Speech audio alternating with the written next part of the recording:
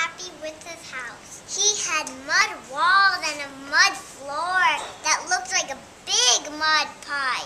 He rolled in the mud all day, making a mess. One day there was a knock at his door. Knock, knock, knock! But Acorn didn't hear it because he was in the mud. Okay, you guys step back.